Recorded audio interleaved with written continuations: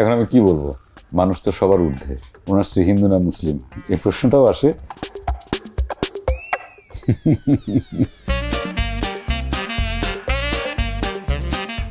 Hello Chanchal Chowdhury কেমন আছেন? ভালো আছি। আচ্ছা আমাকে একটু বলেন তো গুগলে আপনাকে নিয়ে মানুষজন কি কি সার্চ করে সেটা কি আপনি জানেন? সম্ভবত কোন নাটক আছে সেটা বেশি সার্চ করে। আমার কাছে একটা কমপ্লিট লিস্ট আছে। জানতে চান। চঞ্চল চৌধুরীর ধর্ম কি? এখন আমি কি বলব? একটা মানুষের পরিচয় কি আসলে ধর্ম দিয়ে? মানুষ তো সবার ঊর্ধ্বে। ধর্ম দিয়ে কেন পরিচয় হবে? মানুষ সবার ঊর্ধ্বে।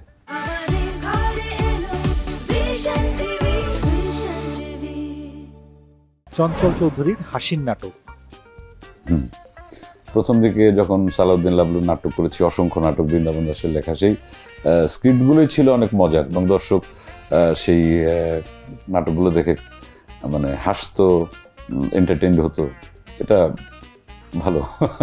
আপনি নিজের কোন নাটকটি দেখে সবচেয়ে বেশি হেসেছেন? এরকম তো অনেক নাটকই আছে। এখন এই মুহূর্তে নাম মনে করা খুব মানে কঠিন।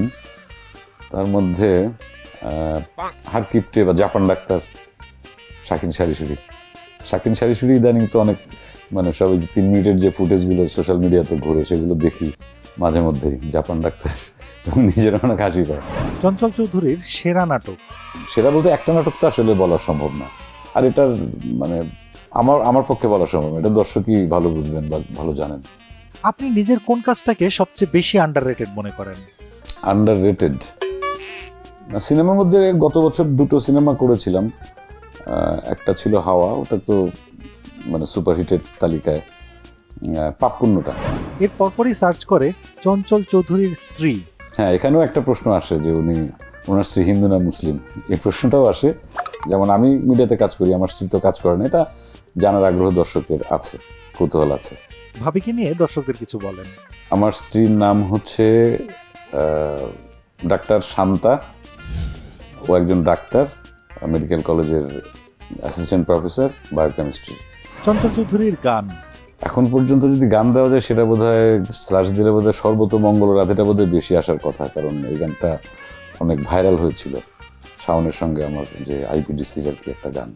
আজ আমাদের এক লাইন শোনাবেন? যে কোনো একটা। ফুল ফুটেছে গন্ধে সারা মন। ফুল ফুটেছে গন্ধে সারা মন। তুমি আমার কত যে আপন। দেখা না দিলে বন্ধু কথা কইও না। ভীষণ নিয়ে এলো ফুলঝুরি মেগা অফার সিজন সিক্স। এই অফারে ফ্রিজ কিনলেই পাচ্ছেন নিশ্চিত বারো সেটের আকর্ষণীয় গিফট বক্স একদম ফ্রি চঞ্চল চৌধুরীর নিউ মুভি হ্যাঁ। এটা সার্চ করে ফ্রি লিঙ্কটা বেশি খোঁজে। তা সিনেমা অথবা ওয়েব সিরিজ বা ওয়েব ফিল্ম, এটা দর্শকদের কাছে আমি অনুরোধ করছি, আপনারা এটা ইউটিউবে সার্চ দিয়ে লিঙ্ক খুঁজবেন না বা দেখার দরকার নেই। কারণ অনেক টাকা খরচ করে, অনেক বাজেট নিয়ে একটা সিনেমা বা ওয়েব সিরিজ তৈরি করতে হয়। হলে এসে যদি টিকিট কেটে সিনেমাটা দেখেন, তাহলে পরে পরে আর একটা ভালো কাজ করার আমাদের সুযোগ থাকে।